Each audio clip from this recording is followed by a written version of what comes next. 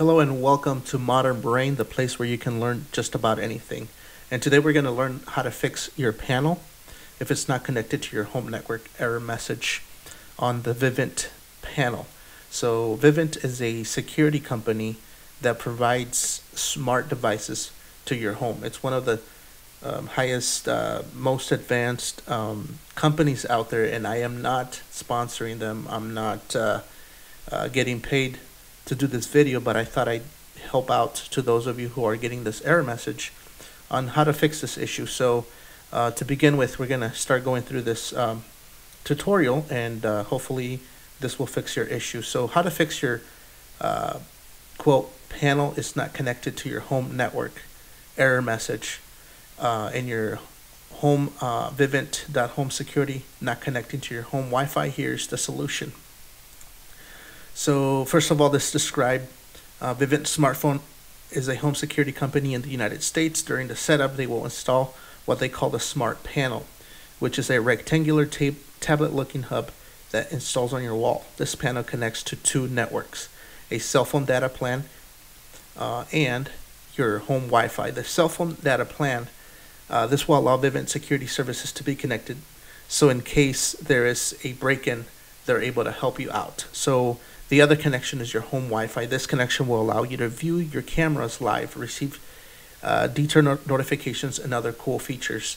Uh, many of you are familiar with the product called Ring, which became very popular um, after the CEO actually went to Shark Tank and was actually uh, didn't get any anybody to invest in his company, and he became very uh, successful with his product. Well, Vivint um, actually makes a similar product um, which allows you to see if anybody is around your outside of your camera, outside of your home.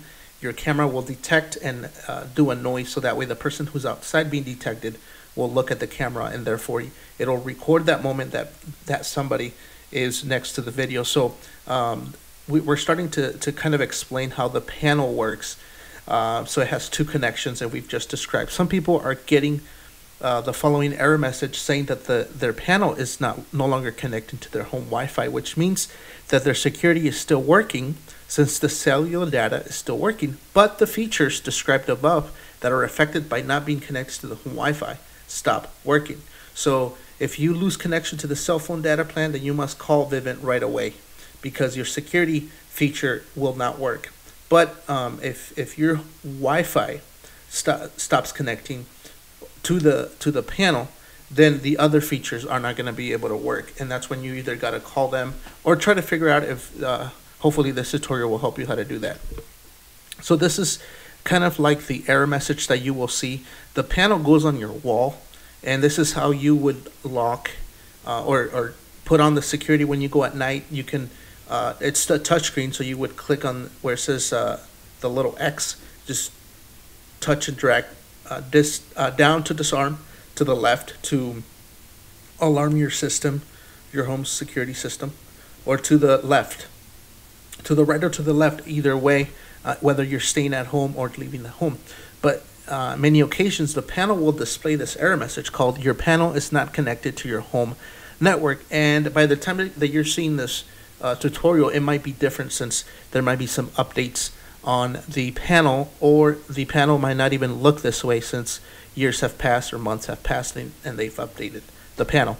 But this is similar to how the message will show. So what do you do when this happens? Um, we will show, show you today. Okay, step one.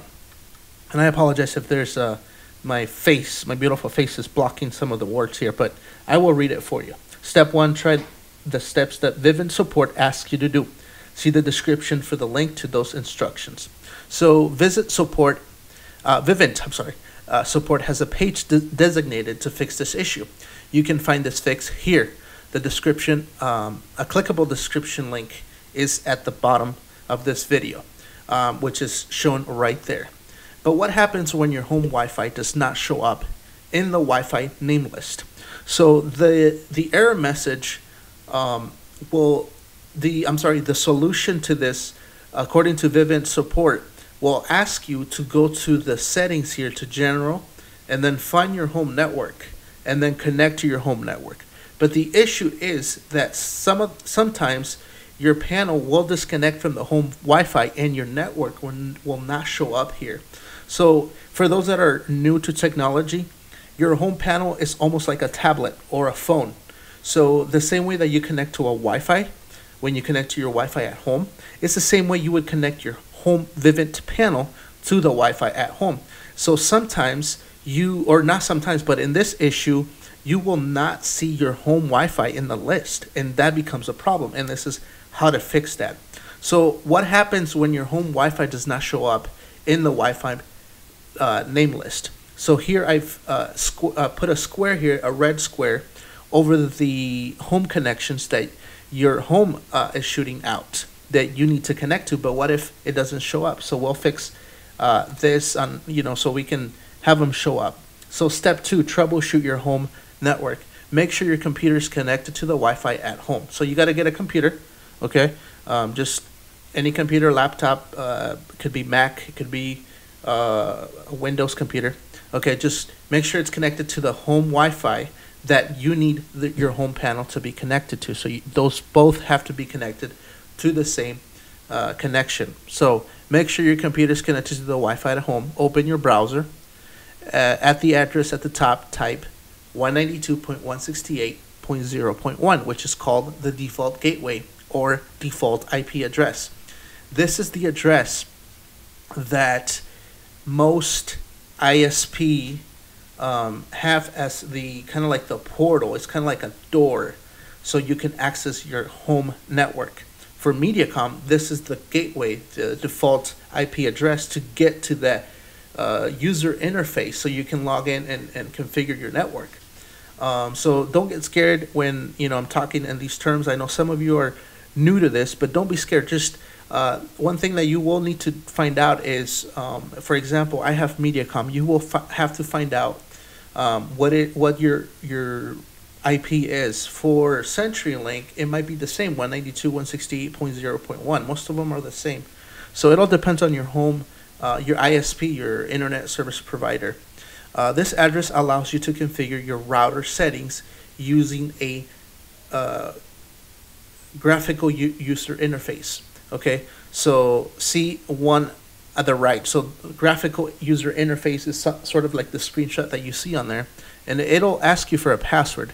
Depending on your router, the IP might be different than the one above. For MediaCom, it's the one that we mentioned. To find out yours, follow step three. So we're gonna find out what your IP would, would be. Okay, so step three, finding your router's uh, default gateway. So the first thing you need to make sure is that you are connected either wireless or through an Ethernet using your computer to your home uh, router. Okay, so to find out what your default router IP, go to your start menu and type command prompt and press enter. This will launch this black screen on your uh, on your screen. Okay, the black screen type ipconfig without the quotes space forward slash all and then press enter. Okay, make sure it's the forward slash, the forward slash that is uh, that is has a symbol of the question mark on your keyboard. Okay, so once you press enter, you will see a whole bunch of list of things here, and what you're gonna look for is gonna be called the default gateway. In my scenario, in my case, if you look at the list here in the screenshot, um, I've protected my stuff here but my default gateway is 192.168.0.1 because that's the last one here, default gateway. Yours might be different, but this is how you figure it out what your default gateway is. And this is what you're going to type on the browser on the top. You see how I type it? Once you type it on the browser, click enter, and it'll take you to this login page. Okay, step four, log into your default IP user interface. Okay, so disclaimer, please, if you don't if you don't feel comfortable going through the step, please step back, call your Vivint support. Um, full disclaimer, uh, you can mess your network up if you don't know what you're doing or you're not following instructions as they are in this video. So I am not responsible if you screw up your um, your network and uh, once you're subscribed to my channel and you get mad at me and then you're gonna unsubscribe, please uh, call your your um, your support team and they will be glad to help you out. So this is for a little bit intermediate uh, people that kind of know how to how to do this. So in the control panel, sign, the sign-on screen, type the username and password. Okay, for MediaCom customers, your email address should have been provided to you when you signed up for MediaCom. It's usually first, last name at media, mediacombb.net and enter the password you have set up. So for CenturyLink, you might want to call them and they'll get you a username and password. Um, they should have given it to you when you set it up as well. Um, and this is usually what you use to log in. So you can change your wi-fi name. So you can change your wi-fi password in case you know your neighbors figure out your password and you want to change it. This is how you do it. Okay so i'm going to give you a little tip. Sometimes the default gateways have a default admin credentials that you can google like what is CenturyLink's router default admin username and password. You can actually believe it or not you, there's default passwords that are set already that you can just google and they will let you know what the password is for certain um, internet service providers. So that might be a, a, little tip that you might you can follow instead of calling your uh, service provider. But again, um, be careful uh, when once you log in. Okay, if you cannot find your username and password, contact your ISP. Okay. So once you're in there, find your network. Okay, so there will be a list, and I protected some of the stuff for my protection, for my privacy. Um, you will see every single item, every single uh, equipment, every single tablet, Apple phone that is connected to your home Wi-Fi, either through Wi-Fi or Ethernet, it'll find it right here. Okay, so in, in my case, I have an iPad, I have an iPhone, and as you can see down here, there's something called Vivint Panel 7 and then something else, because that is the name of my panel that is connected. But sometimes it will not, since it's not connecting to my panel, I will need to do the following step. So your network page should allow you to see all the items connected to your current network. You will notice your Vivint host name is there. Click on it. Okay, once you click on it, um, you will see that you can edit the name and icon. Okay, so click edit name and icon. Your in- user interface might look different, but it might have similar uh, buttons, similar uh, things like edit the um, the name of it. So what I'm trying to do here is change the name of it it's not going to hurt your uh, service. It's basically going to change the name of your panel so it could send another IP and refresh it. Okay, and this usually works to clear this error message. So if you've gone this far, you're doing a great job. Um, try not to screw things up. Try not to disconnect them, do anything. Just follow the instructions, okay? Make sure you rename your host to something that is not the same as the previous name. This will allow your Vivint host to refresh and allow your network to provide another IP address. Therefore, fixing your issue, you will notice that your Vivint will now see the network as part of the list.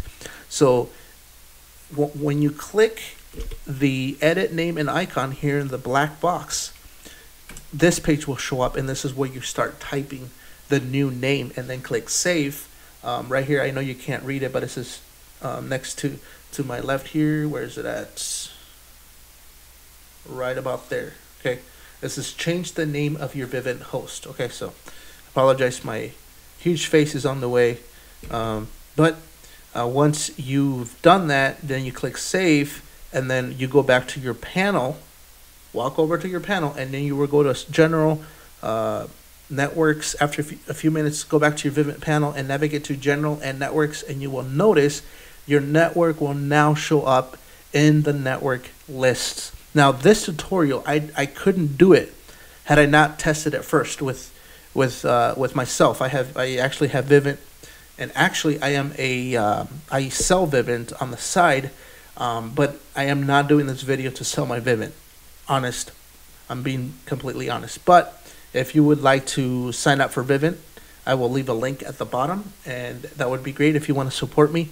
I do get a commission if I sell it but I have Vivint, and I actually had this issue. I didn't call support. Um, what I did, I just did this and um, I fixed it. So my panel was working, the security system was working, but the cameras could not connect to my Wi-Fi, so I was not able to see my cameras.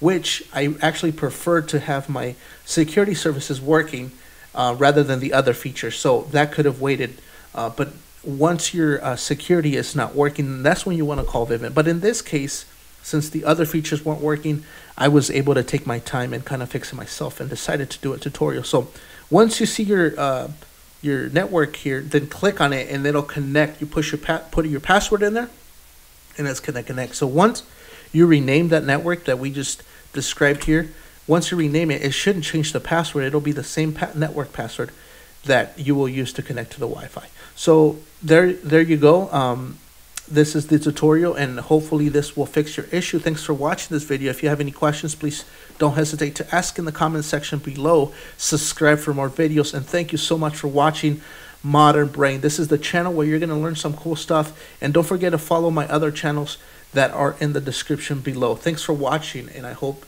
you learn more today. Thank you.